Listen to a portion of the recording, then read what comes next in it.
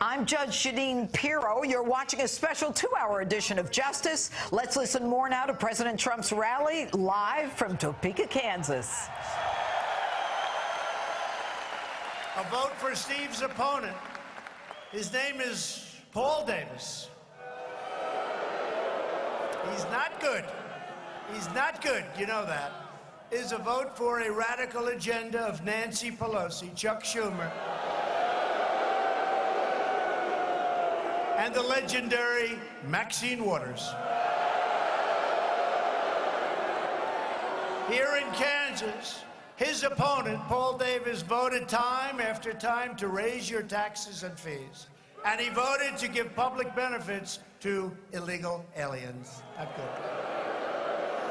If you want to stop Nancy Pelosi from becoming Speaker of the House, Nancy, Nancy Pelosi. You better get out and vote for Steve Watkins, please. A majority of House Democrats have already sponsored a socialist takeover of health care. The Democrats' plan would eviscerate Medicare and eliminate Medicare Advantage for 20 million seniors. We want to protect Medicare. We will, as Republicans, protect Medicare for our great seniors who have earned it and paid for it. And we will always protect Americans with pre-existing conditions. We will take care of our great Americans with pre-existing conditions. Today's Democrats have embraced radical socialism and open borders. If you don't have borders, you don't have a country, folks. You don't have a country. Every single Democrat in the U.S. Senate has signed up for the open borders, and it's a bill. It's called the Open Borders Bill. What's going on? And it's written by, guess who? Dianne Feinstein.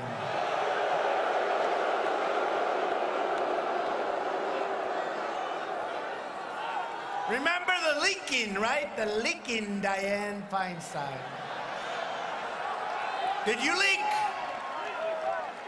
Did you leak, Dianne? Dianne, did you? No, no, no, I, uh, no.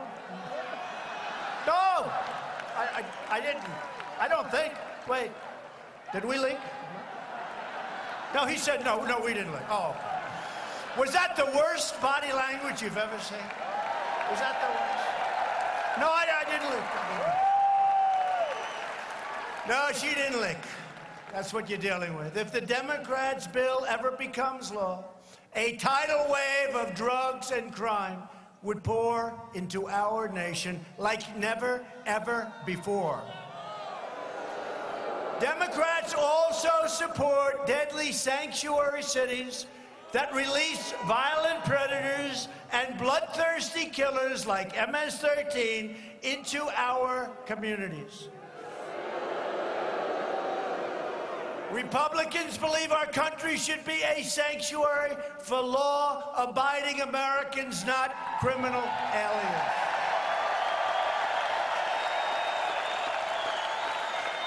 And Republicans stand proudly with the brave men and women of ICE, Border Patrol, and law enforcement.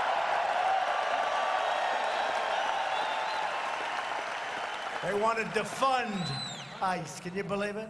You know how tough ICE is? When MS 13 sees ICE coming, they say, let's get out of here. But you know what? They can't because they get caught, they get thrown, and they get thrown the hell out of the country. They can't.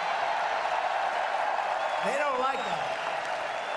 The Democrats want to get rid of ICE. And these are great Americans. By the way, ICE, great Americans. They happen to be tough people. I think we need some tough people. They're tough. MS-13 doesn't like ice, and that's why I like ice. But they really are. They're great Americans. They love our country, and they're not treated properly. They're not treated properly. I've seen it in Long Island. They go into a community. I grew up in that vicinity. I know every community out there.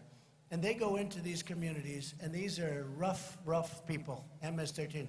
how they even come in and we stop them at the border, but there's so many here from before us, from before us. And our laws are so bad and we're getting them changed. It's tough. That's why we need more Republicans. But they come in and Long Island, we send ICE and they get in there and they get them out and it's like we're liberating a town. In this day and age, it's like in a war where, uh, you know, you a, a foreign invader, a foreign invader finally is being taken out they're liberating a country or liberating a city or a town. These people are liberating these towns.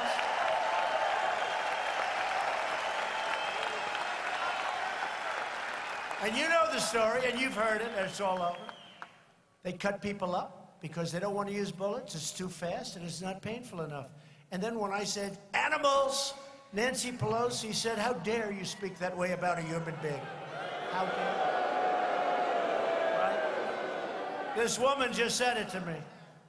She screamed out the word animal. So, how dare you call them? They're human beings. They're not. These are animals, folks. These are animals. And we need law enforcement, and we need ICE, and we need Border Patrol. These are great people.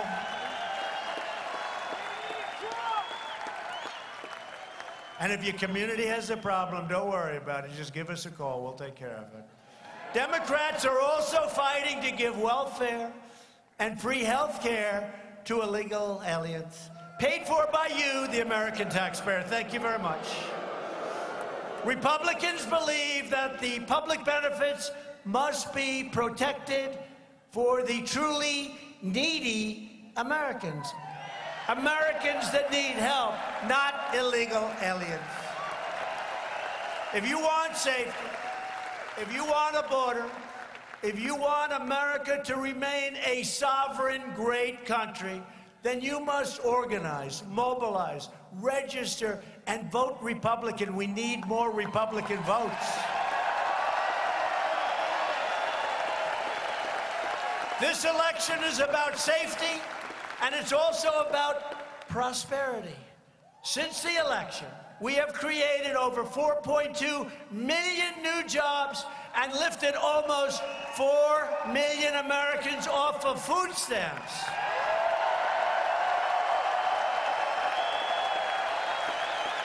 And we've added nearly one half million manufacturing jobs. Think of that. If I ever said that during the camp, look how many, oh man, that you are getting more and more people back there. Look how many reporters Look. Wow. That's a lot. Wow. Wow. You know what I call it? I call it the Academy Awards. That's the Academy Award. You know, we're doing great. Our new polls just came out. I had to poll Rasmussen 51 or 52. They don't report that. They never report. But you know, and it's much higher than that because some people, I don't know if I'm happy about this, they say when they don't want to talk about it, that means they're voting for Trump. I don't know. Am I supposed to be thrilled? But we'll take it, right? We'll take it. That's what happened in 2016. A lot of people didn't want to talk about it. And the poll just puts it down, you know, okay, throw it. But now they learned. They learned their lesson. When they don't talk, they're Trump voters. All action. All action, no talk. African American unemployment has reached its lowest level in recorded history.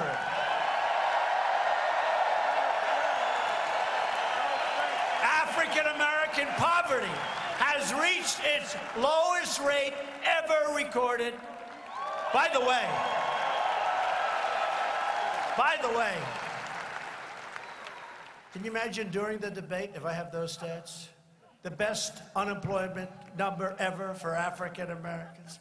Best in terms of poverty ever in history for Africa. How do you win? How do you beat us on that? It's only habit. It's habit. Because for a hundred years, African Americans have gone with Democrats, but now they're changing and they're changing fast and they're coming with us. Thank you, Kanye West. Thank you, Jim Brown, Big Jim Brown. Thank you, Iron Mike. I could go through. We have so many people. Big Jim Brown. We could use him right now in the NFL, right? Great people. Hispanic American and Asian American. Likewise, their unemployment rates have also reached all-time historic lows, the lowest.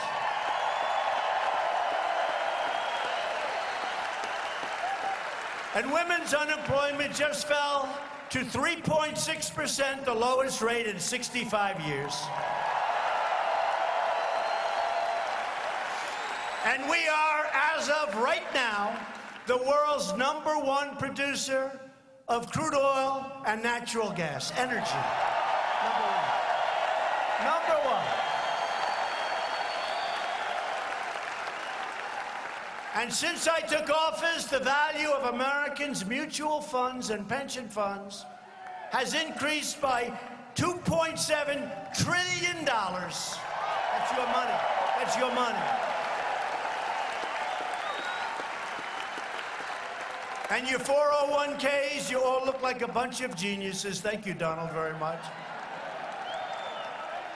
You're all great investors, right? You're all great investors. That's okay. We've picked up 11, I was saying 10, I was saying 7. We picked up now 11.7. Larry Kudlow said it to me the other day. He said, Sir, you're a little low on that number. I said, Really? I was using $10 trillion. It's now 11.7 trillion dollars in worth. 11, you know what that is?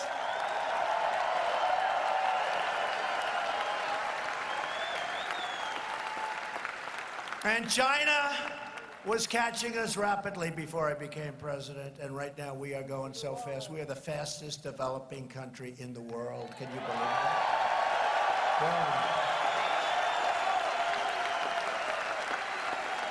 Fastest in the world.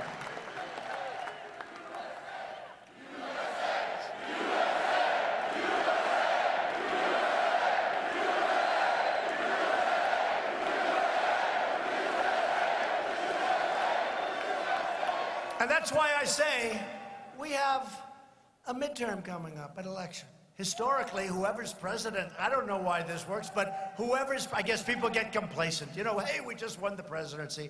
Now, two years later, we have an election, so they're complacent. And then we always win in the next one, which is, as you know, the presidential election. We always.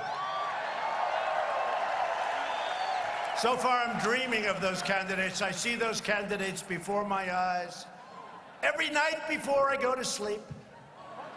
Sometimes while I'm sleeping, I love them so much. Cory Booker. Pocahontas, Pocahontas. I've got more Indian blood in me than Pocahontas, and I have none. I mean, sadly They said to her, Why do you say you're of Indian heritage? Well, my mother told me I have high cheekbones. That's the answer. Do you have any documentation? No, we don't. Oh, I see. You have high cheekbones. Well, I have high cheekbones too. Hey, maybe I'm an Indian and I'm going to do very well. But think of it. This is her reason. The whole thing's been a fraud, but that's okay. You know what? I, I want to be careful. I'm taking out so many of these people. I'm hitting them so hard that they're disappearing. And I don't want to do that. Because I may get somebody that's actually good to run against me. And that would not be good. I'll take out all the easy ones, and maybe I'll get stuck with somebody that's actually good, but I don't see any on that side.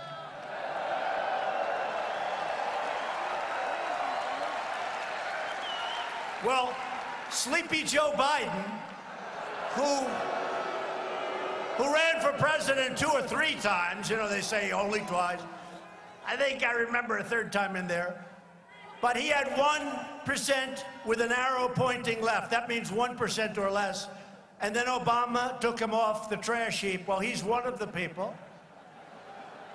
Remember, he challenged me to a fight? I'd like to take him behind the barn. I'd love that. That would be. That wouldn't last long.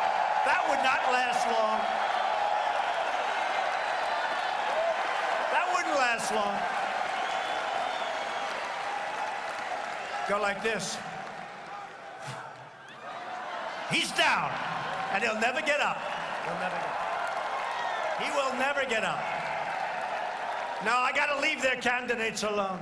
Somebody actually said you're hitting these candidates really hard. Here's a non candidate, you know. Da Nang Dick. He's a Da Nang Dick. That's Blumenthal. He talked about when I was in Da Nang province in Vietnam. And I was fighting up the hill, and men are going left and right of me. They're dying. They're being struck by bullets. But I went back to their rescue. I went back and I got them. And then I made a second attempt.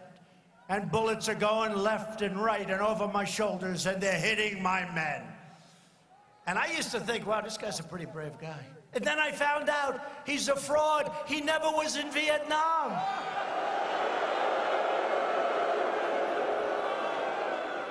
And he stopped campaigning because there was no way you could win.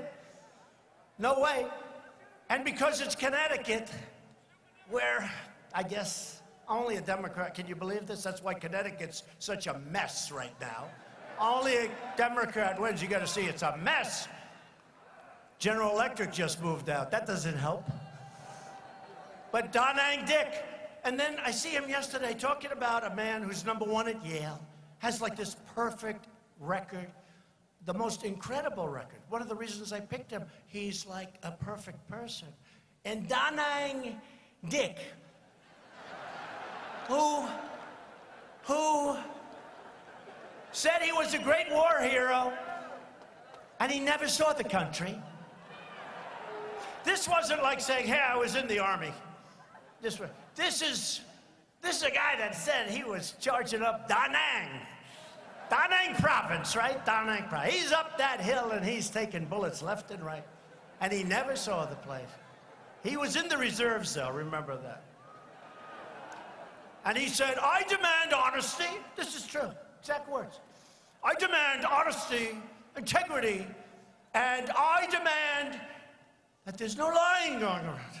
And I'm saying, hey, wait a minute, is that, that's the guy that lied about in the worst, in the history of our country, if you look at it, he lied. And this is one of the people. How bad? And then you have the Feinstein, and you have all the others, and you look at what's going. You don't want those people in office, folks. You've got to have great republic.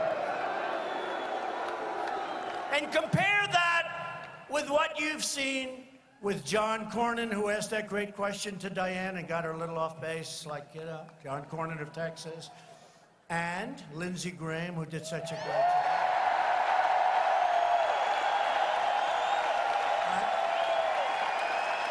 Did a great job.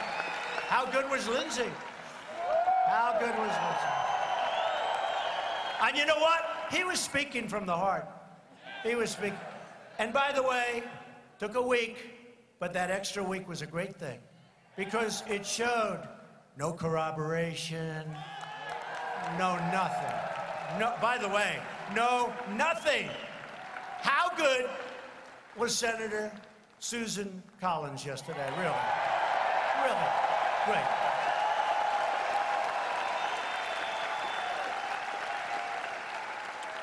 And Chuck Grassley, I'll tell you what, Chuck was great.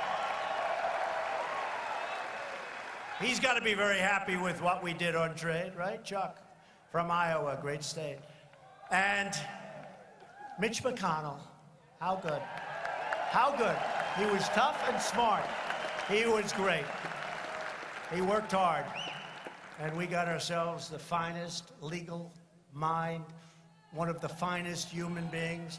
And again, what his family took, the, the horror that they had to endure by these people like Blumenthal and Cory Booker, who was a disaster as the mayor of Newark, New Jersey.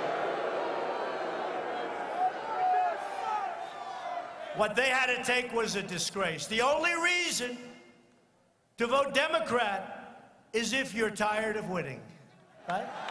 Tired of winning. We want to win, win, win. We never get tired of it. After years of rebuilding other nations, we are finally rebuilding our nation. You see what's happening. And I just left the United Nations last week, And I can tell you, and everybody else can tell you, and even the fake news can tell you, America is respected again.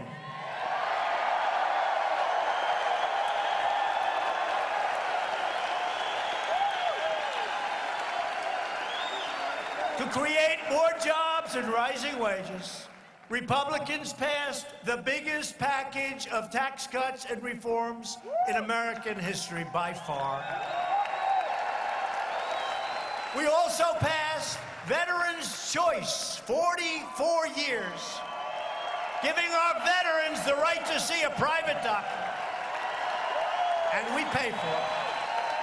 So they don't have to wait online for 25 days, 38 days, 14 days, six days. They go out and they see a private doctor.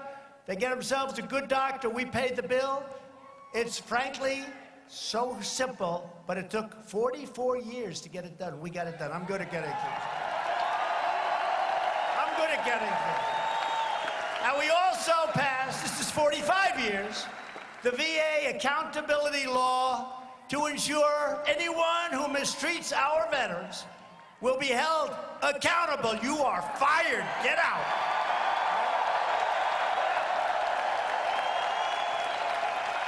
And we've secured a record $700 billion, and the next year, $716 billion to rebuild our military and to give our brave warriors their largest pay raise in almost a decade.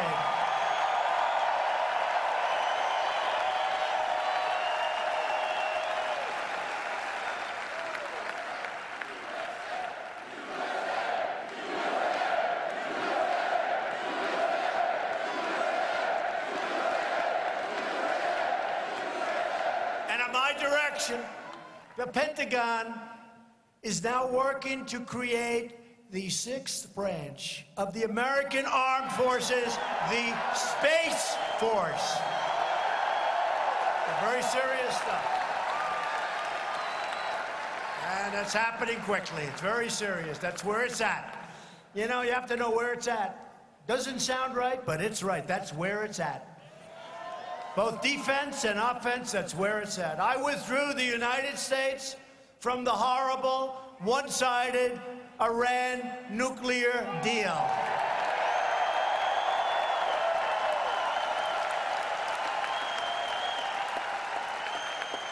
You know, before I became president, I looked at what was happening with Iran. They were taking over the Middle East.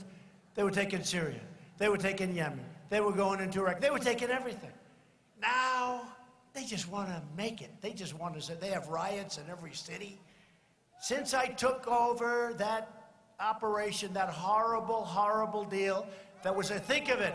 The previous administration gave Iran $150 billion.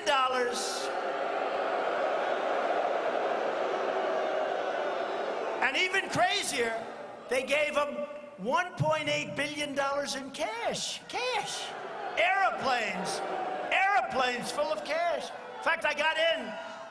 I said, does the President of the United States actually have the power to give away 1.8 billion in cash? You know what the answer is? It's actually no. They don't. What they did there is a disgrace. They gave them 1.8 in order to have a terrible deal. Well, that was a hostage. Uh, they paid a billion eight. They paid a billion eight for hostages. Can you imagine?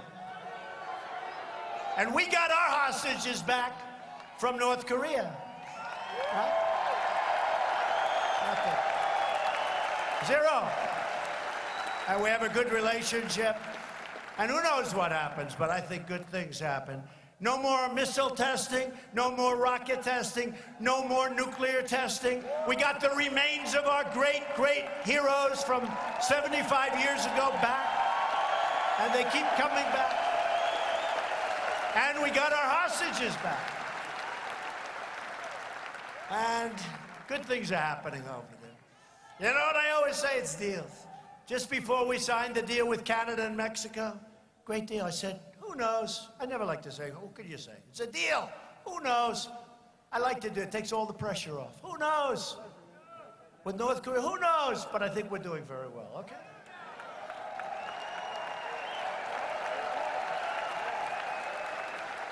The fake news says, why aren't you going faster? I said, Listen, I just got back three months ago, right? I was there with Kim Jong un. I was there three months ago. Chairman Kim, they say, Why aren't you going faster? I said, What have people done for 75 years? 75. This is three months. And one of the anchors said, Why has the president given away so much? And I said, What have I given? I haven't given anything. We got our hostages back for nothing, out of respect. Right? We got our remains back. We got the testing all stopped, including the nuclear testing. I, I said, Tell me, what have we given? Well, uh, uh, you, uh, you agreed to meet.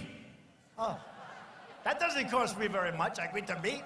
I like to meet. I like to meet. What the hell do we lose by meeting? I asked the previous administration. Now, that's what I gave away. I agreed to meet. Can you believe it? These people are sick. I agreed to meet. Can you imagine how well we'd do if we actually had fair press? Can you imagine?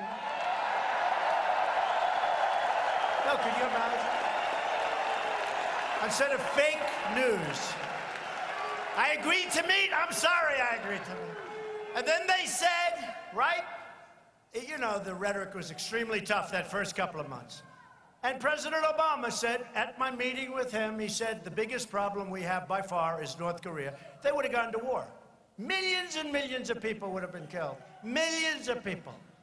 And I said to somebody in their administration, have you ever talked? Have you ever agreed to meet? Have you ever, like, let's sit down and talk? Well, we haven't thought about, oh, I see, you'll go to war, you're not going to talk? We'll beat anybody. What we have now coming in, I'm telling you, the greatest power we've ever had, the greatest power in the world. You know why I have that? Because I don't want to use it. And when you have it, nobody's going to mess with us, okay? Nobody. I don't want to use it. Greatest power in the world. 716 billion, greatest power in the world. But we're doing great. And we have recognized the capital of Israel and opened the American embassy in Jerusalem. That's the other story I tell. That's the other story we tell. That's a big one. That's a big, big story. You know why? because other presidents all said they're going to do it. Many, many presidents. We're going to do it, we're going to do it. Then the pressure goes on them and they don't do it. And I see why. I don't blame them. Every leader called me up. Don't do it, please don't do it, don't do it. You know the story. I've refused to take their phone calls. I said, tell them I'll call them back on Thursday. Next week. And I'm signing like on Wednesday. Tell them I'm calling them back on Thursday. I look forward to speaking to them. Then I sign the deal, announce the deal. Then I call them back. Yeah, hi, how you doing? What's up? Wow. We wanted to talk to you about Israel, but it's a little late. And the embassy, which was going to cost over a billion dollars, we built it for about 400,000, right? You know that, right? And the billion would have taken probably 20 years before you ever got to build it. And we took a piece of land that we owned, already owned and it had a building on it. Okay, building. We fixed the building up a little bit. We took the big space in the corner. We used even Jerusalem stone, which is a very expensive era builder. Jerusalem stone is beautiful. How nice is that? And you know, Jerusalem stone in Jerusalem sounds about right. And we got it for the right price. And we built it for less than $500,000. Think of it. And we opened it. It's open now. We have our embassy. So we saved a billion dollars and 20 years And we have our embassy. We could do that with hundreds of things. For years, you watched as your leaders apologized for America. And now you have a president who is standing up for America.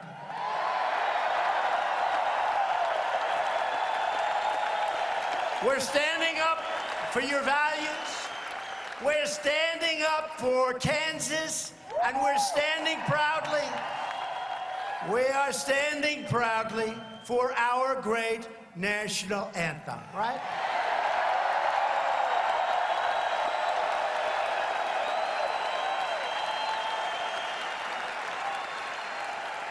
And I just helped Canada and the NFL make a deal that they've been trying to make for years. Can you believe it? Canada was taking advantage of the NFL. The NFL couldn't get it done. It took me about two seconds because it's peanuts. It's you know it's a lot of money, but it's not compared to corn and crops and dairy and milk and cars and steel and everything else. It's peanuts.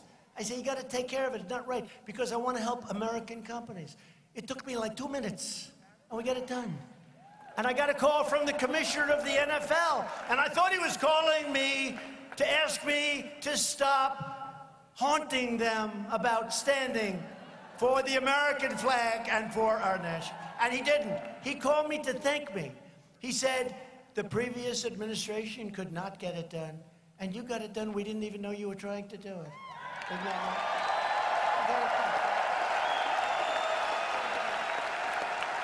So now they'll have a lot more money to give to their players, and their players will still hate me, but that's okay.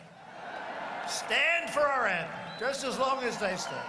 Just as long as they stand for our flag and our anthem, I don't care how they feel about me. But to continue our incredible momentum, you have to get your friends, your family, your neighbors, your co-workers, and get out and vote Republican. We need more people in D.C. We don't have enough.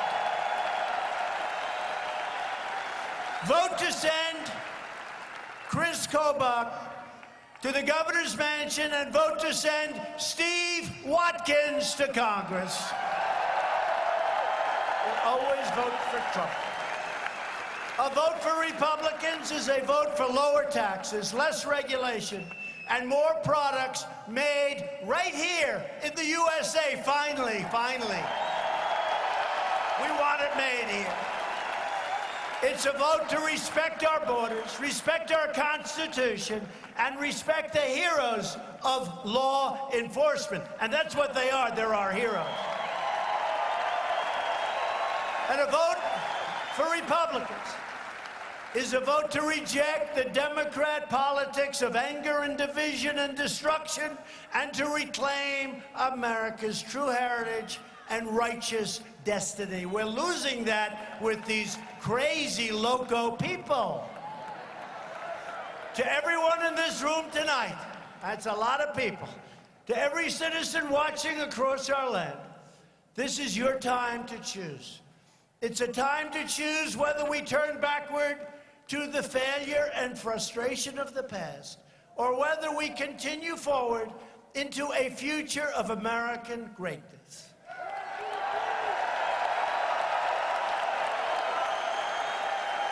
It's not up to the media.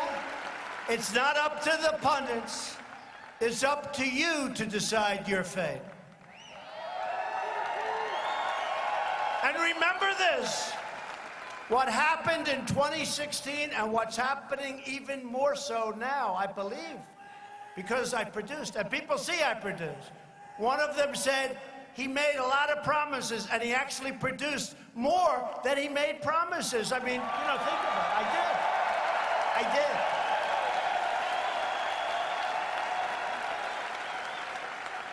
did. You have the power with your vote to defend your family, your community, your country and everything we hold sacred and righteous and true. Loyal citizens like you help build this country, and together we are taking back our country, returning power to everyday great American patriots.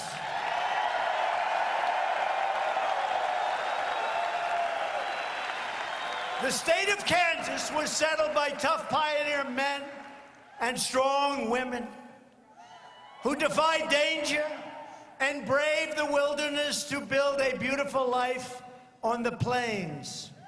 Beautiful, beautiful, beautiful. Strong women, strong women. Strong. I'm sorry, fellas.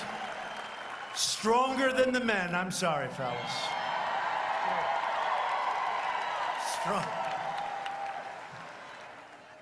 They didn't have a lot of money. They didn't have a lot of luxury, but they all had one thing in common. They loved their families, they loved their country, and they loved their God.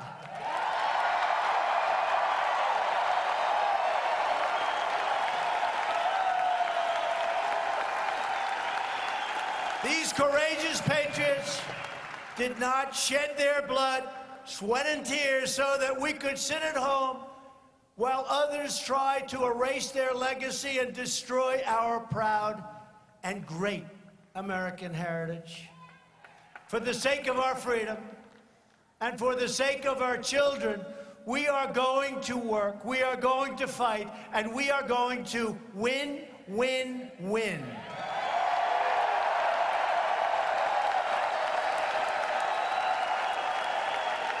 We will not bend. We will not break. We will never give in. We will never give up. We will never back down. We will never surrender. And we will always fight on to victory.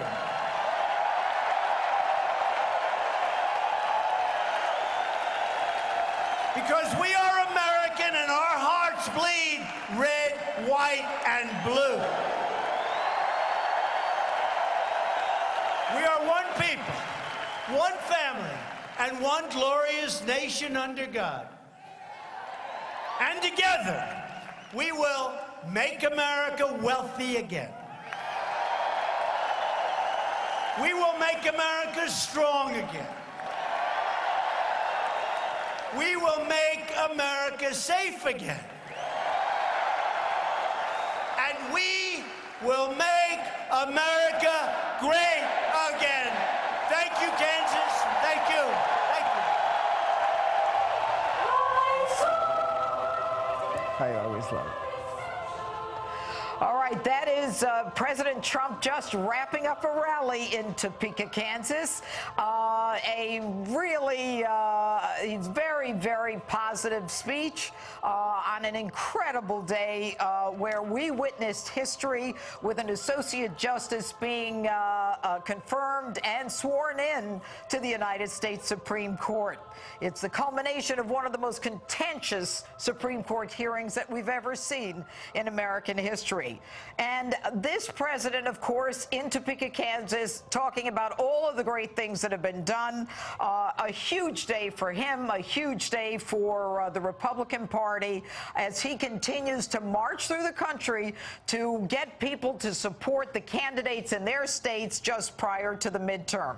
A fired up President Trump clearly doing what he does best, just wrapping up that rally speech in Topeka, Kansas. Well, we have a political panel here tonight. CPAC Chairman Matt Schlapp, an NRA TV contributor, former Secret Service agent Dan Bongino, to break it all down tonight. All right, guys, uh, first of all, I just want to get your take on the huge day that the president had. I mean, you could sense the excitement of the crowd, the excitement of the president today. What do you think, Matt? What I think is interesting is that we had one of the biggest votes that we'll ever see in the United States Senate with Brett Kavanaugh, now Justice Kavanaugh. And you can see how intertwined it is in politics. Because here the president is at, at the rally. What's the number one thing they wanted to hear about? They wanted to hear about this great victory at the Supreme Court. It means that this victory by President Trump with Kavanaugh is going to make Republicans' jobs easier in November. Well, and you know, Dan Bongino, last week you had quite an energized uh, panel discussion with Chris Hahn talking about how horrible Kavanaugh, now Justice Kavanaugh, was treated. Uh, th this week was an incredible week in terms of the turnaround with the president in Mississippi uh, and and how he then kind of changed the conversation to back to Christine Ford. Uh, what would you say to Chris Hahn, who isn't here tonight? You know, I was disappointed in Chris last week because he's a personal friend of mine, but he did something last week that disgusted me. He attacked and he jumped on this liberal train to destroy this good man, Brett Kavanaugh, a patriot. And I was, I mean, a really good man, Judge. I was deeply offended by that. But today, this is a vindication. And Chris, you know what? You know what I got to say? How you like them apples? That's what I got to say. Reminds me of that scene in Good Will Hunting when he knocks, so you like apples? How you like them apples? Here's this was a vindication, Judge. A vindication of, one more point on this, a vindication of Trumpism, and Matt knows it too. Listen, for too long we've been in a boxing match, a political boxing match with the left wearing brass knuckles, and we're appealing to the ref the media, please tell him to take the brass knuckles off. Trump took the gloves off. He's oh, fought oh, yeah. back. We got tax cuts, economic growth, Gorsuch, Kavanaugh. Trumpism's been vindicated. Take a victory lap tonight.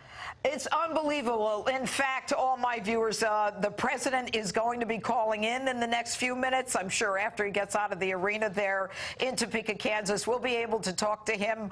Uh, and uh, on, I think, one of the most exciting days of his presidency. I mean, who could have predicted that this would actually happen, Matt? I mean, it was the, the, uh, Brett Kavanaugh went from this great circuit court judge right. to a, a, guy involved in gang rapes, a sexual predator. I mean, was, I think some of the darkest days they had to be of Brett Kavanaugh's life. And now he's back up and just sworn in as an associate justice of the Supreme Court. And it shows you how our politics has changed because the only reason that happened is that Brett Kavanaugh went to that hearing in the Senate and connected with the American people and honestly and aggressively pushed back on these scurrilous charges. It was that moment that sealed his fate so that he would actually be confirmed in the Senate. And I think there were people across this country who were so enthralled I think maybe even people in the White House there as well, by the, the sheer oh, yeah. honest, the honesty and the emotion of all this, because every American felt the pain of this. They know what it's like when someone gets railroaded, and he was the personification of great well, injustice. You know, it was. It wasn't just being railroaded, uh, Matt. And I'll go to you, Don. Uh, Dan. Uh, uh it was about eliminating the presumption of innocence. Right. It was about a mob rule dictating that all women should be believed and men should just shut up. My fear was that Lady Justice was not only, you know, having the bandage ripped off and told which way to go, but that she was being thrown out of the game totally. And that was frightening, I think, to a lot of Americans who believe in the system, believe in the, the presumption of innocence. And I think it may have brought out people who would never have really cared about about a Supreme Court nomination. Right, but Judge, the reason we won here is important. What you just said is absolutely accurate. The left has done this before. They lob a grenade onto the political battlefield, and that grenade ends in ist. Racist, misogynist. In this case, it was rapist, which was disgusting. Wow. And in the past, a lesser president, Judge, would have backed away immediately and said, hey, Judge, for the better of the country, step aside. Trump said, no, not today. And Matt hit the nail on the head. When Brett Kavanaugh got up there and said, not today, not on my watch. I may not sit on the Supreme Court, but you're not going to crap on my reputation and decades of good work for this country and my family. Matt is absolutely right. Okay. Trump was there for him. He knew he was there for him. And the corner turned, and the American people were energized, and the all Democrat right, all right. air I'm got out of that balloon you, Dan. And Dan, I'm going to interrupt you. As I said, we have the president uh, calling in, and I understand uh, that joining me now by phone is the president of the United States, Donald Trump. Mr. President? Well, Dan sounded very good, very good. We appreciate Dan. Yeah, Dan, Dan is a great guy, but Mr. President, I must tell you that this is one of the most significant days of your presidency. It was a whirlwind week, and I, I just want to know how do you feel tonight?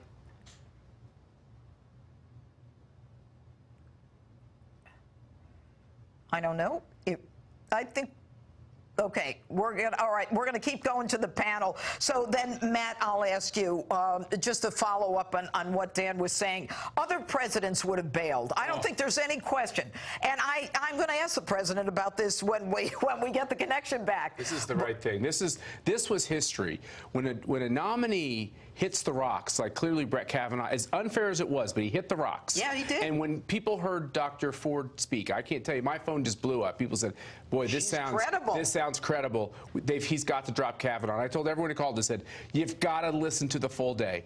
And I think the president did something. He broke the back of the left on this idea that they can just throw out charges, put a lot of dust in our eyes, and presidents will back off. They're now dealing with somebody who's not a politician. He's not going to back off. Yeah. And this means that when we get our next opening, they don't know what to do. They've tried everything in their bag of tricks. Well, Dan, you know, I think that, that what Matt and you are both saying is that we not only have a president who's a counterpuncher, but we have a president who is in a position to just ignore all of the rules and just go with his gut and go with his instinct. And I believe that that's what brought us to the Kavanaugh confirmation today and his ascension to the United States Supreme Court. But do you think that the left has learned that the more ridiculous they get, the, the less credible they're going to be to the American people? Uh, no, they haven't learned a damn thing. Uh, you know, they played along while the entire government was weaponized to take down Donald Trump. Uh, frankly, he gave him the double barreled middle finger. He, he won anyway. He's now the president. And, Judge, there's a reason we are where we are with Donald Trump. He didn't spend his entire life running for office learning how to sell out. He built stuff. You have to build stuff. You either see a building or you don't. He had to deal with union bosses, New York City, uh, you know, government people trying to shake him down sometimes. He had to deal with the worst of the worst, and he had to build the damn building. Politicians learn to sell out their entire careers. That's why he is who he is, and that's why Brett Kavanaugh is sitting on the Supreme Court right now. All right, I want to remind my viewers that we were on with the president uh, just a few moments ago, uh, and we're trying to get the connection back. So uh, don't go anywhere. He's, he, he is trying to get back to us, as I understand it. Now, um, Matt, you know Brett Kavanaugh. I do. Okay. How do you go through the emotional roller coaster that he went through, and when he gets to today, being sworn in. I mean, I had chills. I mean, I, I'm, I'm a lawyer. I mean, I was also a judge, but I had chills. Right. How do you think? Is it bittersweet for him? Look, I served with him throughout 9 11, throughout all the heady issues around wars. Uh, we had amazing days. You do in almost every White House, but especially around those things. And he is a very unflappable person. The, the person people saw in the Senate pushing back aggressively. Ah. That's actually that was just that was honest emotion to these charges. But the Brett Kavanaugh that's at work every day, he is steady Eddie. The person that I think is also amazing is his wife and his kids. Ashley, another great friend, she just hung in there. They're people of faith, Judge. They believe that God has a plan for their lives. He, I'm sure he believes that the skills that God gave him are to be uh, in the law. Oh, as well they will. And, and I think we're going to see that as, as a justice. He is going to not use his personal opinions, not his faith. He's going to read the words of the Constitution, and consequences be damned. And if people want to criticize him, I think Well- he'll be a lot like Clarence Thomas. I don't think he's going to worry about it because he knows Yeah. he's going to do his job. Yeah, well, and you know, Dan, he has clearly been uh, raked over the coals. Uh, this is a, a justice who, uh, as as Susan Collins, Senator Susan Collins, made clear yesterday uh, in her brilliant remarks in the Senate, uh, who relies on what we call stare decisis and, and precedent, and who understands that under Griswold versus Connecticut and, and Roe versus Wade, that there are certain things like privacy that Griswold, uh, uh, you know, established that have to be followed. Do you think that that is something that's going to affect the midterms as we go forward? You know what I think is going to affect the midterms more on this, Judge? Um, honestly, just candidly speaking, the the really visceral, disgusting attacks on Kavanaugh, who was, by the way, a brilliant pick. A brilliant pick strategically, and I want to sell that short. Think about this, right? President Trump had to understand that he was not, even though Gorsuch was not the, the most pleasant confirmation, this was going to be a lot uglier because it was Kennedy's seat on the swing vote. They knew Kavanaugh was a conservative, but they knew he was a Bush guy as well. This was a brilliant pick by Trump because, Judge, what did it do? it galvanized factions of the Republican Party. Let's be candid, right. that have been at each other's throats. Trump always gets sold short on his strategy. This was a Ah, brilliant pick. Kavanaugh was probably the only guy who would get through right now under these circumstances. And the truth, Dan, that, that you articulated so well, the result is that the Republican Party going into the midterms is now more unified than it's been in, in decades. So it was brilliant on so many levels. Uh, and Look, even with ahead. women, Judge, all the, the, the Republican surge and the energy that you see in all these polls, you actually see the Democrats have screwed up their double digit advantage with women. You know why? Women are moms, women are sisters, uh, you know, they're, they're, they're wives. They saw this as an unfair treatment of any man in their life. It could happen to any man in their Exactly. life. And the Democrats have screwed it up even with women. That's right. And, and of course, to my viewers, we're still waiting on President Trump to call in live any moment now. But let's talk more about the president's rally tonight. A very exciting times in Topeka, Kansas, especially if you're a Donald Trump supporter. Let's go live now to Doug McKelway in Topeka, where the president just wrapped up. Hi, Judge and I, I think you said it right. This is arguably the high point of the Trump presidency to date. And the reason being is he solidified his legacy for potentially decades to come with the appointment now of two conservative uh, justices on the high court uh, who will obviously demonstrate, people hope, uh, that conservatism in the years going. And certainly, if that is the case, it has moved the court in a rightward tilt in ways that has not been uh, reflected in literally decades. And the crowd here in this arena recognize that. We all know that uh, the President Trump is occasionally fudged numbers about crowd size in some of the arenas. This place, Landon Arena, holds 10,000 people. There was not a single seat to be had here tonight. Every seat filled here. And the enthusiasm level uh, was reflected in that as well. They knew what was happening here. I was here about uh, earlier this afternoon when the, vote reached the threshold 50 to 48. Uh, it was about half full at that time. The president was uh, in the air at the time. But people were getting that news on their cell phone via text messages, via emails, via telephone calls. And there was an uproarious thunder of applause at that point in time. And then when the president himself came out here to reaffirm that news, there was just thunderous applause. I want you to listen to a little bit of it.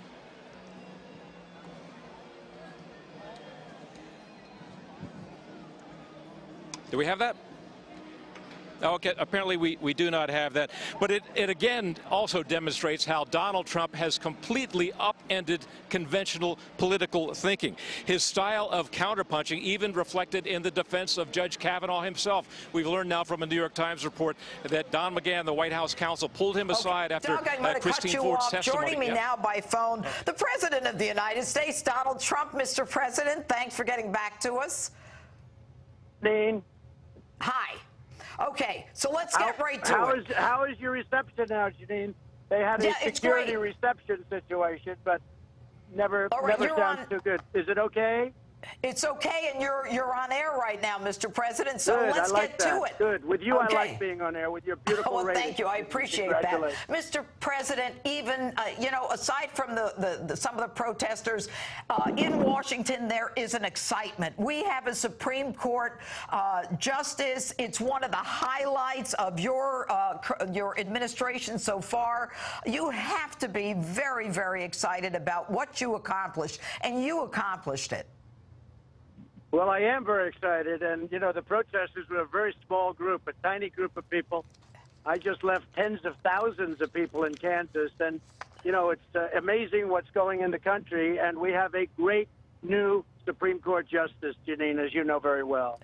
I do. And, Mr. President, you know, a lot of people, uh, other presidents, might have pulled the plug. And we were talking about this while we were trying to reconnect with you. There were a lot of other conservative justices that you could have said, okay, you know, let's try somebody else. And it wouldn't have been the first time a president did that. But you stuck with Kavanaugh during his darkest moments. Why? Well, for one thing, it would have been very unfair to him if you think about it. He's a highly respected man. What the Democrats did was disgraceful. Uh, these uh, things happened that just came out of the wind. There was no corroboration. There was no anything, Jeanine.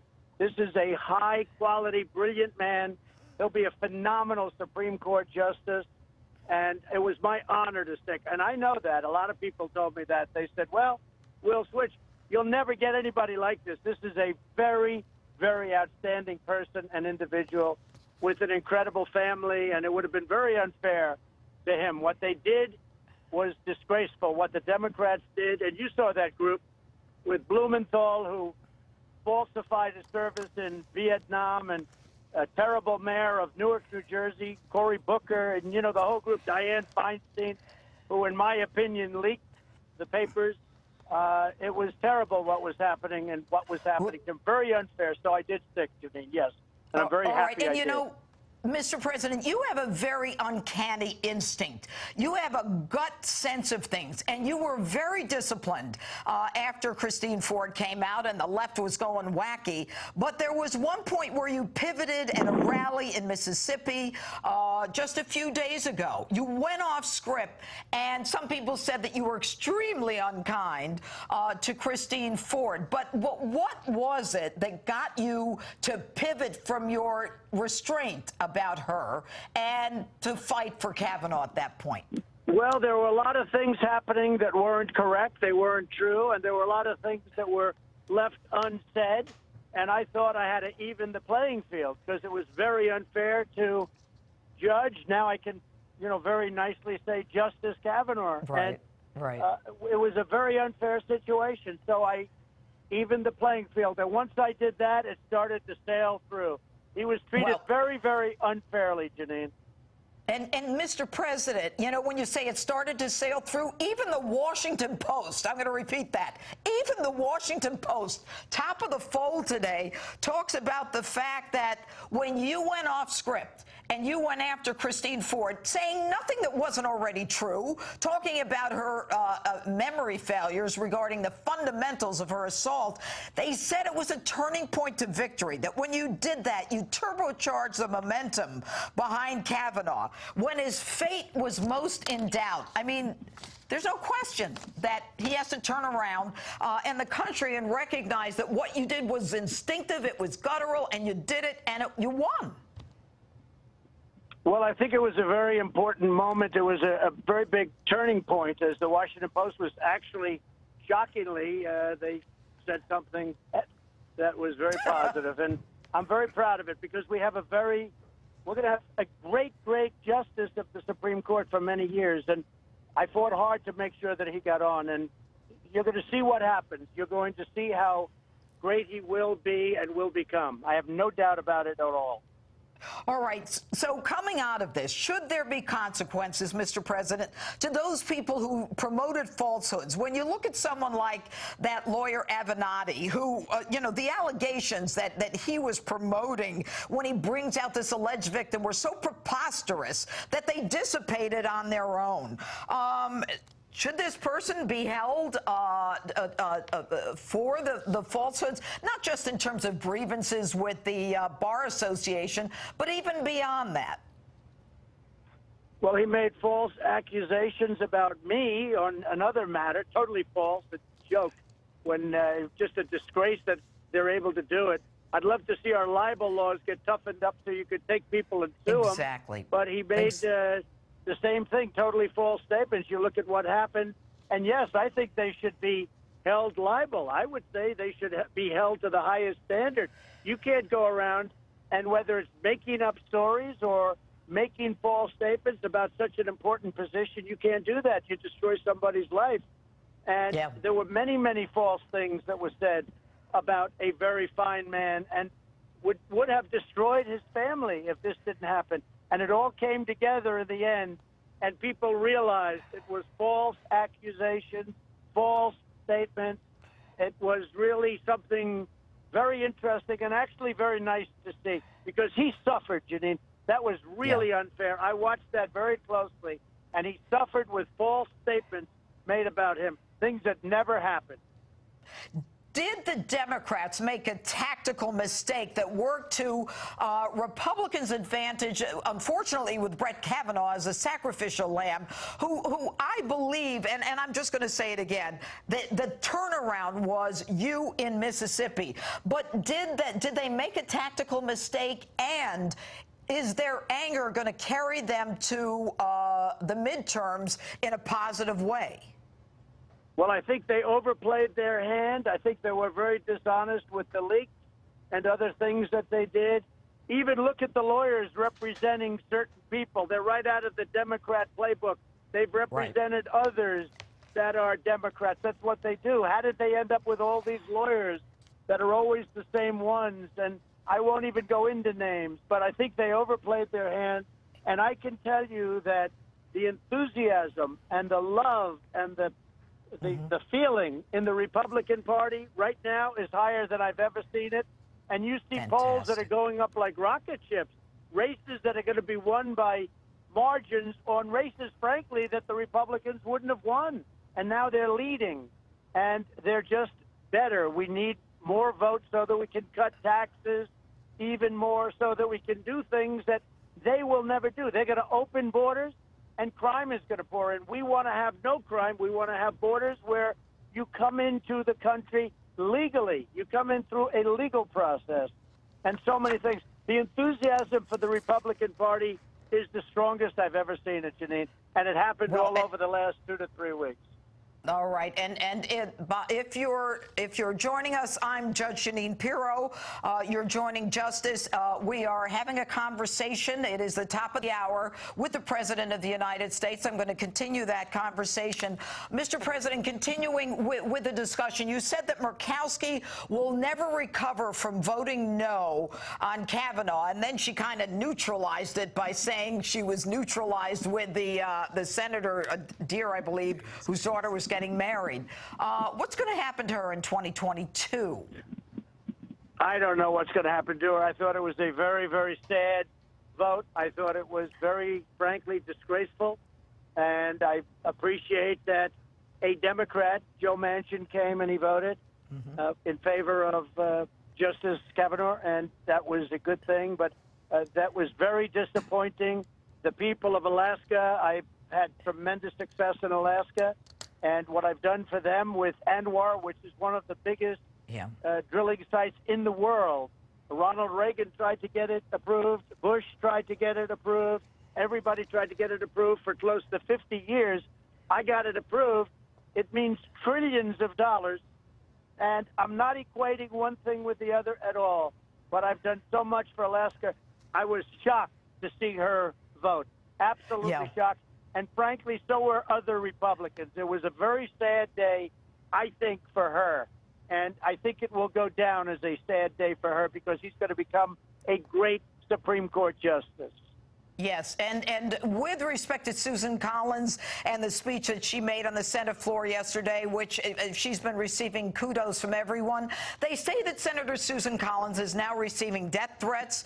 Uh, and, uh, you know, I'm going to show some of the video uh, of people uh, who continued to disrupt outside the Senate floor as they voted today. What can we do about this? What kind of protection are United States senators going to get in this rough and tumble left that seems to have lost all sense of law and order? Well, you receive threats on both sides, but I will tell you, Susan Collins was a star. What she did was incredible. I spoke to her yesterday. What she said yeah. and the way she said it was brilliant, and it really covered it. Uh, she has, from the beginning, really liked Brett Kavanaugh. She had respect for his incredible genius, his, him as a scholar, him as a you know great person of the law. Nobody knows it better, and she respected that. I know. I mean, she respected it right from the beginning, and she wanted to make sure that she was right on every other subject, including outside influence that came in. And in the ah. end, she went through probably as carefully as anybody. She went through every paper, every document, and I thought her statement yesterday was absolutely brilliant. And we're very proud of her. And I'll tell you what, she's more popular now than she's ever been. And she's she's always been good, but she is more popular now, Jeanine, than she's ever been.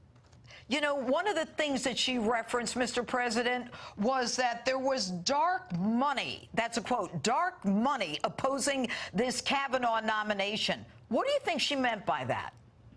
Well, I think I'd rather let her explain it, but it's a very, very serious thing going on with. Yeah respect to this nomination. And the Democrats know he's so good, they just didn't want him there. And they would have fought others also, by the way, but they did not want him there. He is uh, great in every way, and he's central casting. I mean, this is a man Yes. that was born for the position. I heard his name 10 years ago. They used to talk about he will someday be a Supreme Court justice. That was long before I thought of running for president, frankly. I used to hear his name as somebody that really should be on the Supreme Court. And that's what I did. I put him on the Supreme Court. And Do uh, you- it's going to be, I really think it's a great day for our country. Oh, a lot of people are sharing in this celebration, Mr. President. Do you think, though, when you spoke to him, of course, do you think it was bittersweet for him? Well, I know this. Uh, it was going to be very easy, and I picked him also for that reason. I said, this man is so good in every way on a personal basis, on an intellectual basis, on a scholarly basis in schools, uh, the highest grades, the highest marks, first to his class. I said, this will be an easy one. And they fabricated stories about him to make him look as bad as possible. Their fabrication uh, had no bearing in truth. And it was really very difficult. And I'm really happy that we all stuck it out. You know, you could say I stuck it out, but he stuck it out also, and that took courage because what they did to him and his family, Jeanine, was horrible. Yeah, yeah. It's a tough thing, especially when you have little girls. I, I want to move on to something that you talked about at the rally, Mr. President. And you talked about a uh, sixth branch of the ar- armed uh, forces, the Space Force. What is the Space Force? Well, Jeanine, as we advance, space is becoming more and more important for defense. And that means defense and offense. And if it's going to be a part of the Air Force or one of our other forces, frankly, it's never going to be out front. It needs its own identity. And we're doing Space Force. The generals agree with me 100%. And so much of our defense and offense will be related to space. So we're setting up a new branch of the armed forces that's taking place very rapidly. Everybody agrees with it. All right, and and uh, if Melania, who was in Africa today, I think in Egypt at the uh, Right. in Giza at the That's right. pyramids, she uh, she looked so phenomenal. Uh, I agree. her her I agree. visit she there. Was, we're very proud of her. She was in four African countries. She went uh, today. She was actually at the pyramids, and she's coming Yes. home. She'll be home very early tomorrow morning, and she did a fantastic job.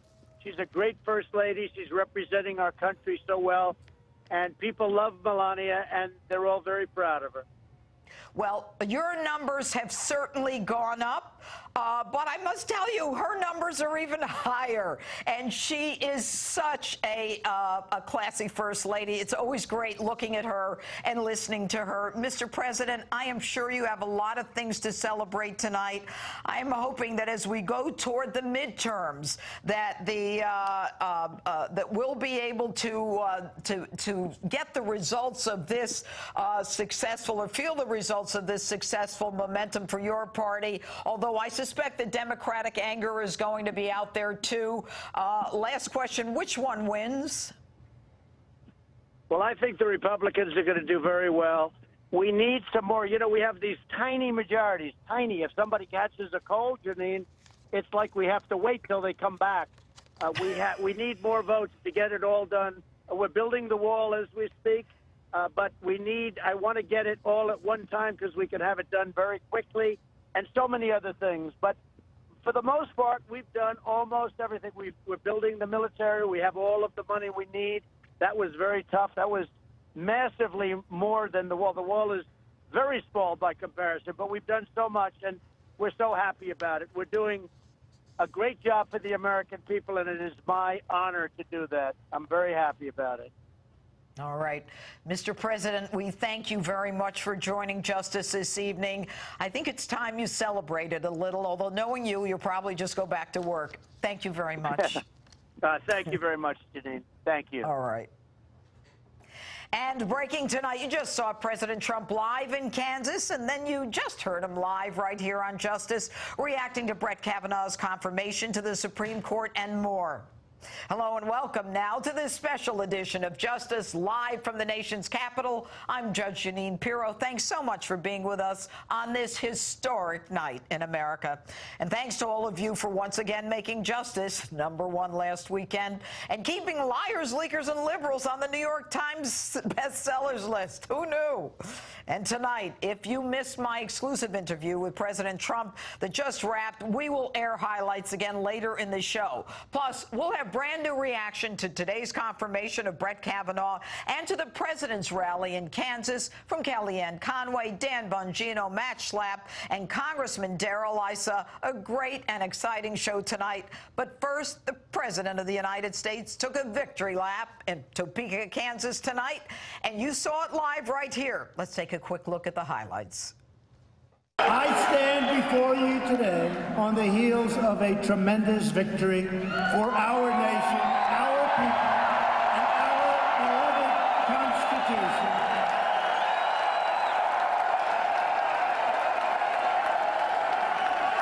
Just a few hours ago, the U.S. Senate confirmed Judge Brett Kavanaugh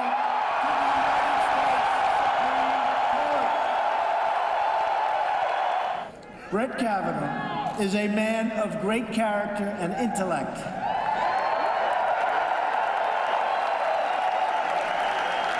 He's a totally brilliant scholar who has devoted his life to the law. He is a loving husband, a devoted father, and a faithful public servant, and he always has been. What he and his wonderful family endured at the hands of Democrats is unthinkable. It's unthinkable.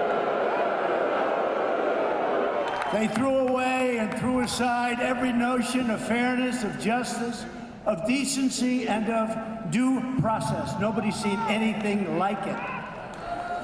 But each of you will have a chance in just four weeks to render your verdict on the Democrats' conduct at the ballot box.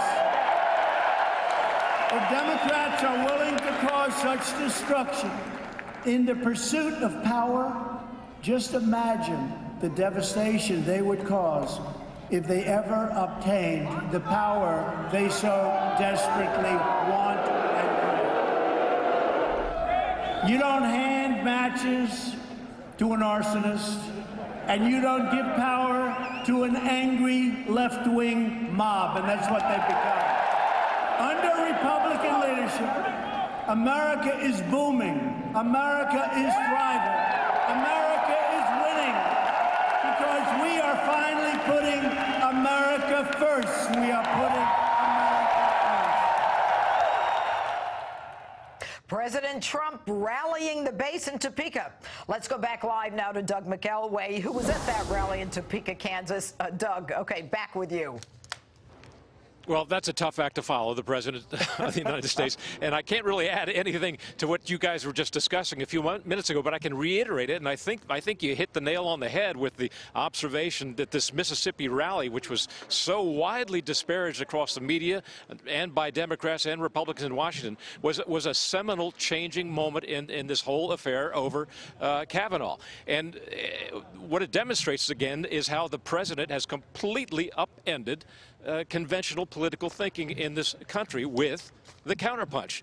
And even Brett Kavanaugh himself used the counterpunch after the formal hearing was done and he had a chance to respond to these allegations and came forward with his defense, that very emotional defense. Most media observers, uh, most court analysts said it was uh, not reflective of good judicial temperament. We had a former Supreme Court justice saying it was a disqualifying characteristic, not good judicial temperament. But there are others who said it's what saved Kavanaugh's skin. It's what saved his nomination process. And then the president went to this rally in Mississippi where he actually dared to confront the accuser's testimony here. And it was a reminder to many, many Americans. It was, it was something that was disparaged widely among Democrats in Washington, disparaged widely among Republicans in Washington. But among the Republican base, it was taken with open arms. In the aftermath of that rally, we saw contributions uh, to the RNCC uh, go up by over 1,000%. I think uh, Dana Perino reported that today. We saw conservative never Trumpers join uh, Trump diehard supporters together for the first time in his presidency. Uh, what we're seeing here is that the, the counterpunch truly, truly does work, Judge Jeanine.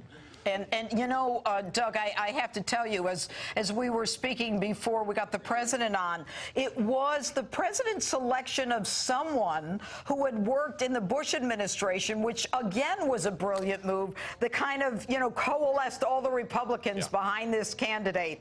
And uh, right. the turning point, uh, as you say, and I agree. And, and even yeah. the Washington Post. Yeah.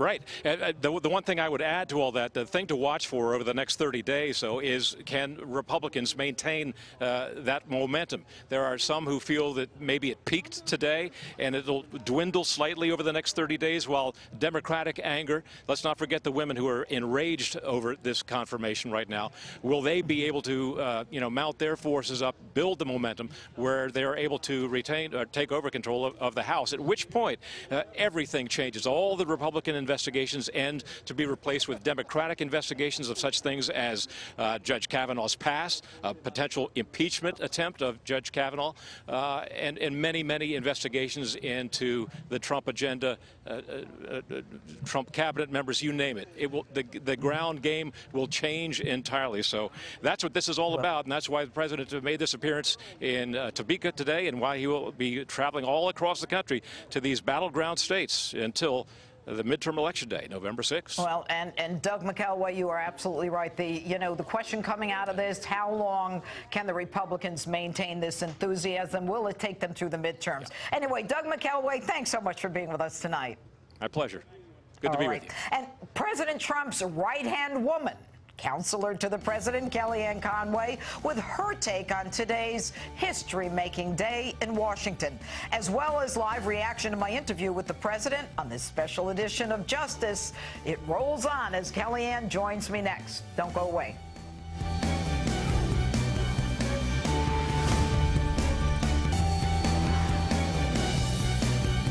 Remember the leaking, right? The leaking Dianne Feinstein.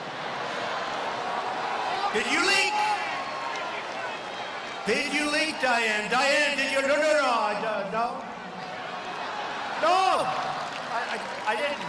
I don't think. Wait, did we leak?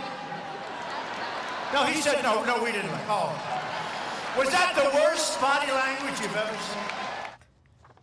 Welcome back to Justice. President Trump having some fun with Democrat Senator Dianne Feinstein at tonight's rally in Topeka. He was in a great mood, and why not? It is truly a historic night for our country as our 114th Supreme Court Justice, Associate Justice, Judge Brett Kavanaugh was sworn in just a short time ago. Joining me now with reaction to it all, counselor to the president, uh, Kellyanne Conway. Kellyanne, one of the things that you said, which I thought was so appropriate, uh, a quote of yours in an article today, it said, today uh, and the, the uh, confirmation of Kavanaugh, of Judge Kavanaugh, Kavanaugh, now Justice Kavanaugh, is a crowning achievement of his presidency, of the President Trump's presidency. Why? There's no question. And it's Justice Kavanaugh, it's Justice Gorsuch, and 26 U.S. Circuit judges. It is truly a part of President Trump's legacy, and he's not even been there for two years. He promised on the campaign trail that he would appoint uh, constitutionalist judges who don't make up the laws they go along, who are impervious to political machinations, and he's delivered on that promise. And I think that much of the much of the credit here also has to be shared with Leader McConnell and those in the Senate who saw through exactly what this is: hyper-partisanship, hysteria, dark money, perhaps but really a lot of a lot of dark language. And I'm so proud of Justice Kavanaugh for sticking with it. Many people and many presidents, Jeanine, most other presidents, really would have pulled the nomination and said, look, it's not good for you, it's not good for your family, it's not good for the country. They both stuck with it. That's the message to everybody's children tonight, too. You don't let yourself be bullied and lied about and insulted. You don't give in to the hysteria. You fight back if you know that you're innocent. And he did, and he's sitting on the Supreme Court. He'll be at work on Monday or Tuesday. You know, I have chills as, as you say it, Kellyanne. You know, you're, you're, we're both lawyers. Um, one of the things that frightened me um, you know, as someone who's tried rape cases and, and decided what cases should go forward, was the idea that as women, they should unequivocally be believed and that, that men should just call it a day. It was the upending of everything that you and I learned in law school about the presumption of innocence. And it frightened me. And I honestly believe that it frightened a lot of people in this country. This dictatorial, you must believe her, irrespective of the fact that there's no corroboration. Not that you need it, but once you allege it, you got to prove it. They saw that happening in real time. And if Americans were as gullible and naive and impressionable as many of the Democrats on the Senate Judiciary Committee think that we are, then the outcome here may have been different. Do you realize that in the supplemental hearing featuring Judge Kavanaugh, after he had testified for 33 hours and already answered 1,200 written questions, already produced over a million documents, do you realize that very few of those Democrats, if any, Jeanine, mentioned the Constitution? They held up his yearbook. They didn't talk. They didn't mention any of his 300 judicial opinions as a sitting judge in the D.C. Circuit.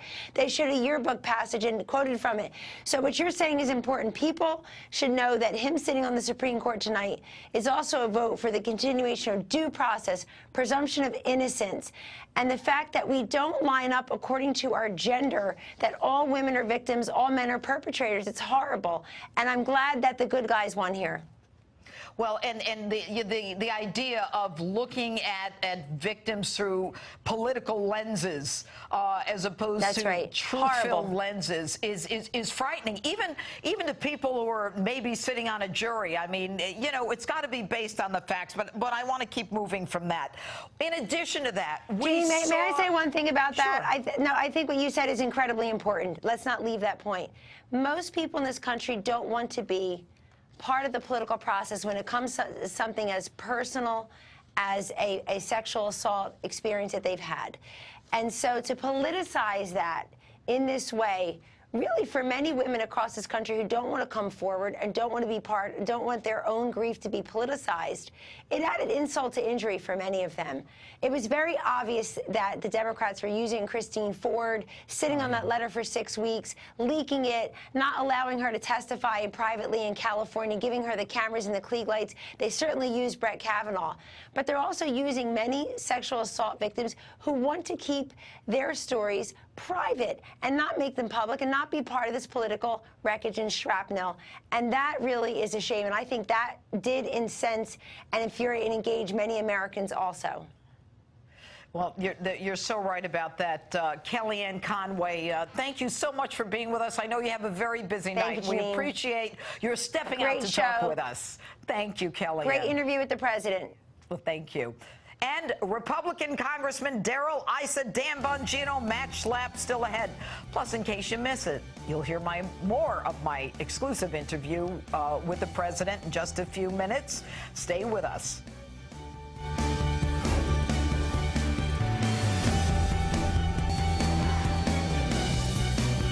The only reason to vote Democrat is if you're tired of winning, right?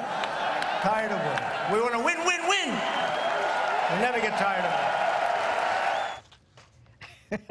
President Trump giving a rousing speech tonight in Kansas, hitting on a number of major topics. And joining me now with reaction to the president's speech and the historic Senate vote to confirm Judge Brett Kavanaugh to the Supreme Court, California Republican Congressman Darrell Issa, who is here on set with me. All right, uh, Congressman, what's your take on what happened today with Kavanaugh? Well, I could be glib and I could say they didn't do a complete uh, investigation because, of course, they don't know at what age he was potty trained. Yeah. but but short of that, this is the most thorough over investigation ever. We now have a justice on the Supreme Court who's been over investigated by uh, by the Senate, disparaged by the Senate, and I'm confident he will go and he will put that behind him. He'll close the door and conduct himself in the way he has on the D.C. Circuit Court, and that's good for America.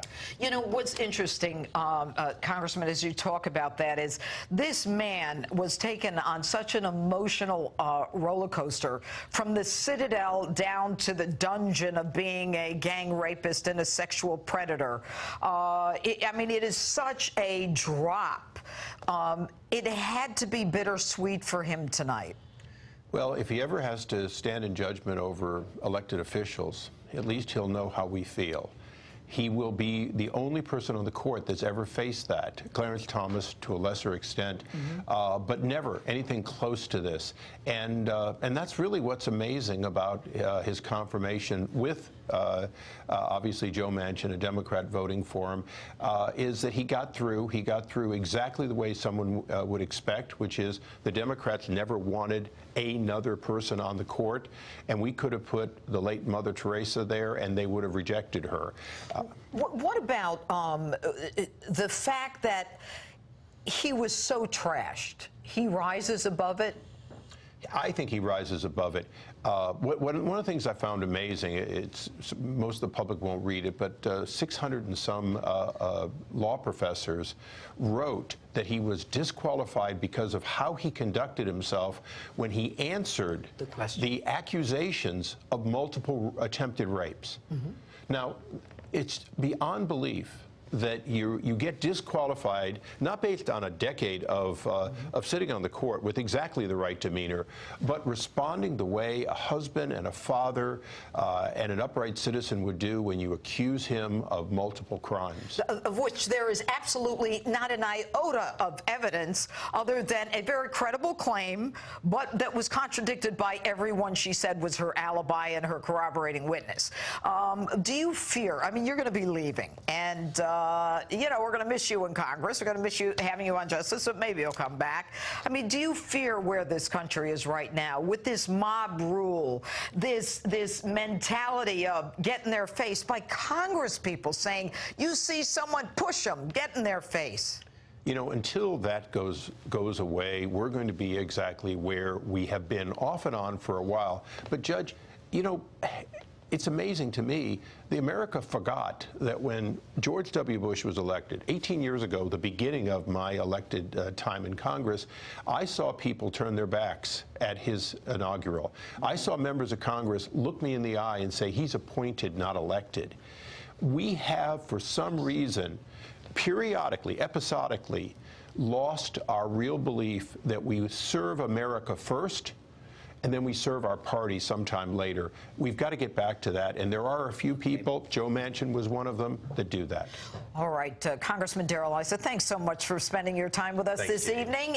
And Matt Schlapp and Dan Bongino can't wait to weigh in on all of this again. They're standing by. Plus, you're going to hear some of my wide-ranging exclusive interview with the president from just a few moments ago. Next.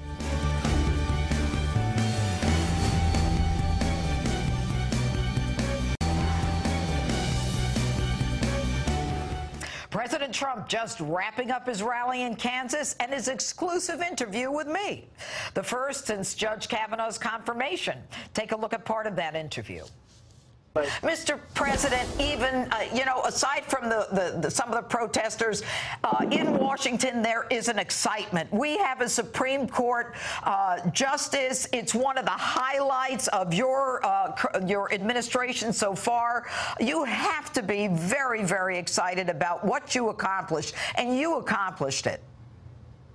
Well, I am very excited. And, you know, the protesters were a very small group, a tiny group of people I just left tens of thousands of people in Kansas, and you know it's uh, amazing what's going in the country, and we have a great new Supreme Court Justice, Jeanine, as you know very well. I do. And, Mr. President, you know, a lot of people, uh, other presidents, might have pulled the plug. And we were talking about this while we were trying to reconnect with you. There were a lot of other conservative justices that you could have said, okay, you know, let's try somebody else. And it wouldn't have been the first time a president did that. But you stuck with Kavanaugh during his darkest moments. Why? Well, for one thing, it would have been very unfair to him if you think about it. He's a highly respected man. What the Democrats did was disgraceful. Uh, these uh, things happened that just came out of the wind. There was no corroboration. There was no anything, Jeanine. This is a high quality, brilliant man. He'll be a phenomenal Supreme Court justice. And it was my honor to stick. And I know that. A lot of people told me that. They said, well, we'll switch. You'll never get anybody like this. This is a very, very outstanding person and individual with an incredible family. And it would have been very unfair to him. What they did was disgraceful, what the Democrats did. And you saw that group with Blumenthal, who falsified his service in Vietnam and a terrible mayor of Newark, New Jersey, Cory Booker, and you know the whole group, Dianne Feinstein, who, in my opinion, leaked the papers. Uh, it was terrible what was happening and what was happening. Well, very unfair. So I did stick, Jeanine. Yes, and I'm very all happy. Right. And I you did. know. Mr. President, you have a very uncanny instinct. You have a gut sense of things, and you were very disciplined uh, after Christine Ford came out and the left was going wacky. But there was one point where you pivoted at a rally in Mississippi uh, just a few days ago. You went off script, and some people said that you were extremely unkind uh, to Christine Ford. But what, what was it that got you to pivot from your restraint? About her and to fight for Kavanaugh at that point? Well, there were a lot of things happening that weren't correct, they weren't true, and there were a lot of things that were left unsaid. And I thought I had to even the playing field because it was very unfair to judge. Now I can, you know, very nicely say Justice Kavanaugh. Right. And, right. Uh, it was a very unfair situation. So I evened the playing field. And once I did that, it started to sail through. He was treated well, very, very unfairly, Jeanine.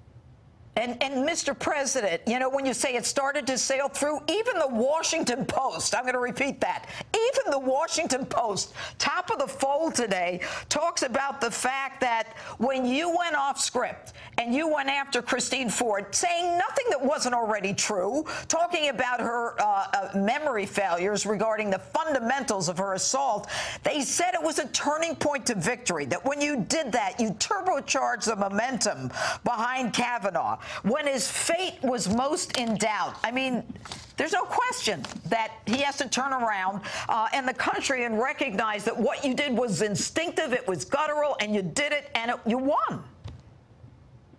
Well, I think it was a very important moment. It was a, a very big turning point as the Washington Post was actually, shockingly, uh, they said something that was very positive, and I'm very proud of it because we have a very we're going to have a great, great justice of the Supreme Court for many years. And I fought hard to make sure that he got on. And you're going to see what happens. You're going to see how great he will be and will become. I have no doubt about it at all. All right. So coming out of this, should there be consequences, Mr. President, to those people who promoted falsehoods? When you look at someone like that lawyer Avenatti, who, uh, you know, the allegations that, that he was promoting when he brings out this alleged victim were so preposterous that they dissipated on their own. Um, should this person be held uh, uh, uh, uh, for the, the falsehoods, not just in terms of grievances with the uh, Bar Association, but even beyond that? Well, he made false accusations about me on another matter, totally false, a joke, when uh, just a disgrace that they're able to do it. I'd love to see our libel laws get toughened up so you could take people and sue exactly. them. Exactly. But he made the same thing, totally false statements. You look at what happened, and yes, I think they should be held liable. I would say they should be held to the highest standard. You can't go around and whether it's making up stories or making false statements about such an important position, you can't do that. You destroy somebody's life. And yeah. there were many, many false things that were said about a very fine man and would would have destroyed his family if this didn't happen. And it all came together in the end, and people realized it was false accusations, false statements. It was really something very interesting and actually very nice to see because he suffered, Jeanine. That was really yeah. unfair. I watched that very closely, and he suffered with false statements made about him, things that never happened. Did the Democrats make a tactical mistake that worked to uh, Republicans' advantage, unfortunately, with Brett Kavanaugh as a sacrificial lamb, who, who I believe, and, and I'm just going to say it again, that the turnaround was you in Mississippi. But did that? Did they make a tactical mistake? And is their anger going to carry them to uh, the midterms in a positive way? Well, I think they overplayed their hand. I think they were very dishonest with the leak and other things that they did. Even look at the lawyers representing certain people. They're right out of the Democrat playbook. They've represented right. others that are Democrats. That's what they do. How did they end up with all these lawyers that are always the same ones? And I won't even go into names, but I think they overplayed their hand. And I can tell you that the enthusiasm and the love and the the, mm-hmm. the feeling in the Republican Party right now is higher than I've ever seen it. And you see Fantastic. polls that are going up like rocket ships, races that are going to be won by margins on races, frankly, that the Republicans wouldn't have won. And now they're leading, and they're just better. We need more votes so that we can cut taxes even more so that we can do things that they will never do. They're going to open borders, and crime is going to pour in. We want to have no crime. We want to have borders where you come into the country legally. You come in through a legal process, and so many things. The enthusiasm for the Republican Party is the strongest I've ever seen it, Jeanine, and it happened all over the last two to three weeks. The panel is next, and tonight it's two of your favorites. CPAC Chair Matt Schlapp, NRA TV host Dan Bongino standing by live with their take on Supreme Court Justice Brett Kavanaugh and my interview with President Trump next.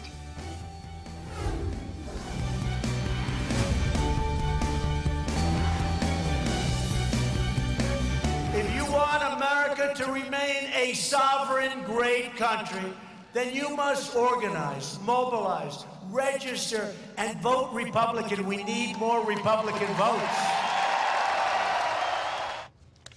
Joining me now with reaction to my interview with President Trump and his lively speech tonight to a huge crowd of supporters in Kansas, political panel, uh, panel CPAC Chair Matt Schlapp, NRA TV contributor, former Secret Service Dan Bongino. All right, Dan, I'll go to you first. You heard the president uh, in my discussion uh, with him. What stuck out in your mind? Well, first thing is that, again, Trumpism has been entirely vindicated. You know, Judge, the Iron Triangles dominated the GOP for years the activist groups, the media, and the swamp. And Trump keeps continuing to, to beat the snot out of all of them politically. He just doesn't back down, and they're panicking. And you saw more of that tonight in this speech where he just ran up the score, and I love that about him. Uh, I got to tell you, I never heard that term, beat the snot. I mean, that's good for Saturday night. What stuck out? I'm a Queens guy.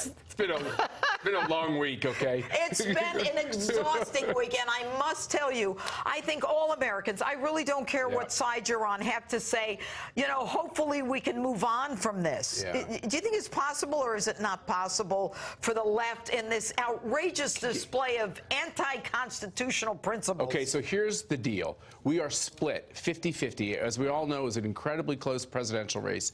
It's going to take the American people looking at these crazy people who are literally right outside this window and saying, I don't trust them with majorities in Congress for us to be able to make a bigger difference and get these larger Republican majorities in Congress to push the Trump agenda. It's in the hands of the American voter. Well, Dan, and what do you think the Republicans have to do to maintain the enthusiasm or the anger?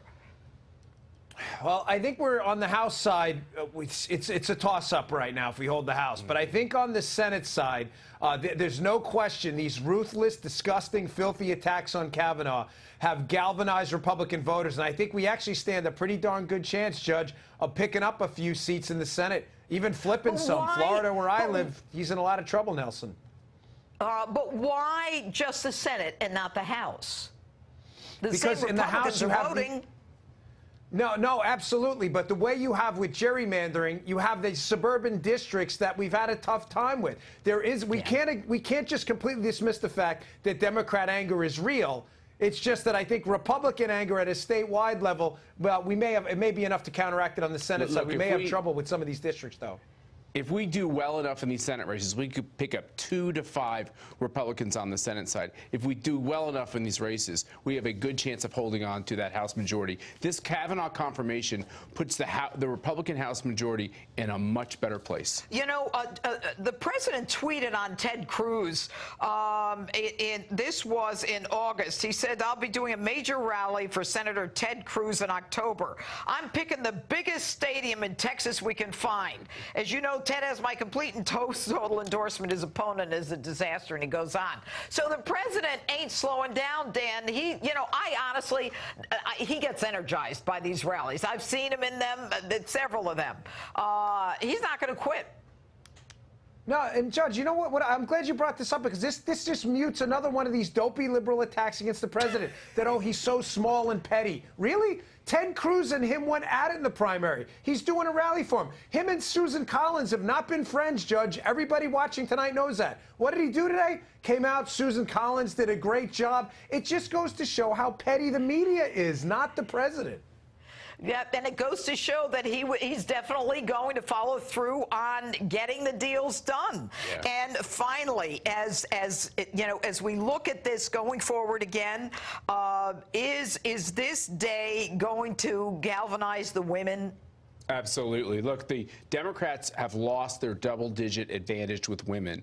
Women actually looked at what happened with Brett Kavanaugh and they felt like there was something unfair about the process. And don't worry about Republicans not having the enthusiasm. If we had gotten this wrong and lost on this Kavanaugh vote, I would be depressed because we would also lose big in November. I feel the opposite today. All right, uh, Matt Schlapp and Dan Bongino, thanks so much for being with us tonight. And we'll be back in a moment.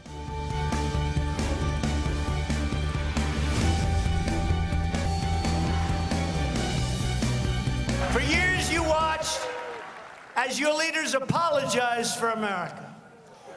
And now you have a president who is standing up for America. A big night indeed for President Trump.